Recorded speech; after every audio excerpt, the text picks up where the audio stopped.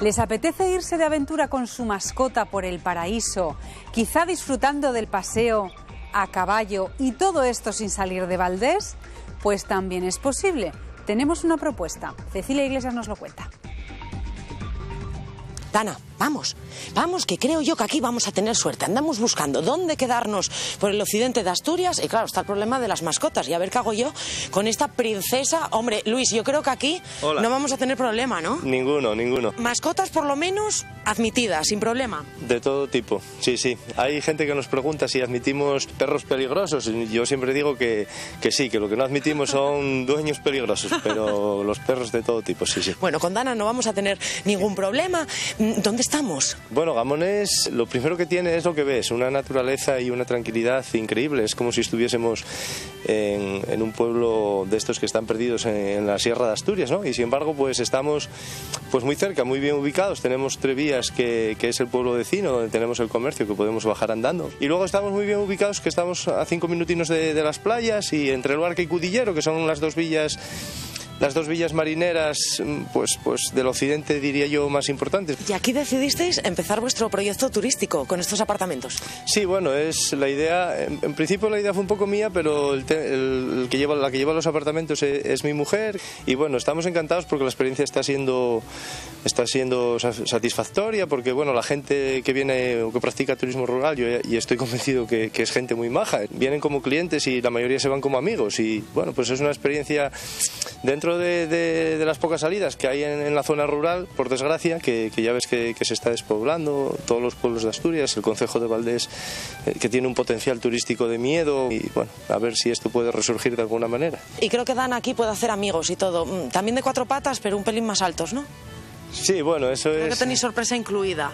No, bueno, eh, yo soy muy aficionado a, a los caballos, nací en Gijón, eh, pero mis abuelos estaban aquí, entonces yo tachaba en el calendario los días que, que me faltaban para, para venir bien fuera de, de fin de semana o de vacaciones. Y pues si yo dije, a mí esto me enganchó, pues al resto de la gente también lo puede enganchar. No es solamente practicar turismo, es otra manera de vivir, yo digo, ¿no? Una experiencia diferente que pueden disfrutar los que, que se alojen aquí. Bueno, al vivir en estas zonas rurales, pues te puedes permitir tener caballos y bueno, en realidad es, es- es el caballo mío y los caballos de mis hijos, que salimos mucho de ruta por ahí, pero bueno, como siempre los tenemos aquí a- al lado de los apartamentos, pues cuando viene la gente de, de Madrid o de, del Barcelona, de las grandes ciudades, pues les llama mucho la atención sobre todo a los críos, ¿no? Y están muy entretenidos. Y luego sí, cuando, cuando salimos de ruta con, con mis hijos y tal, pues siempre están por aquí y, y aprovechan pues para, o para subirse los críos y hacerse la foto o, o alguno más valiente ya para darse, para darse un paseo por aquí. Pero vamos, así en plan,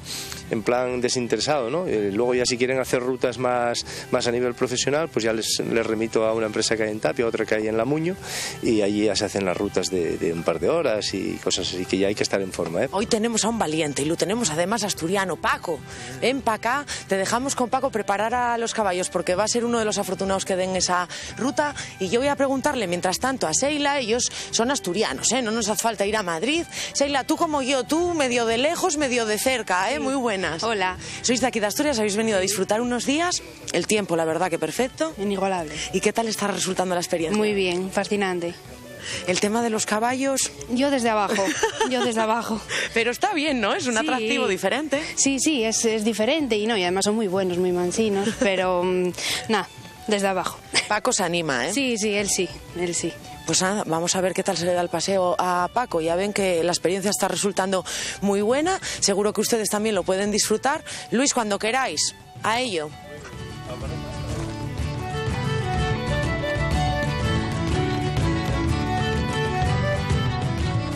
Nos vamos, recta final de Conexión Asturias, solo para recordarles que dejamos siempre abierto nuestro perfil oficial en Facebook para que puedan volver a ver nuestros vídeos, nuestras historias, comentarlos, compartirlos en sus propios muros en esa red social.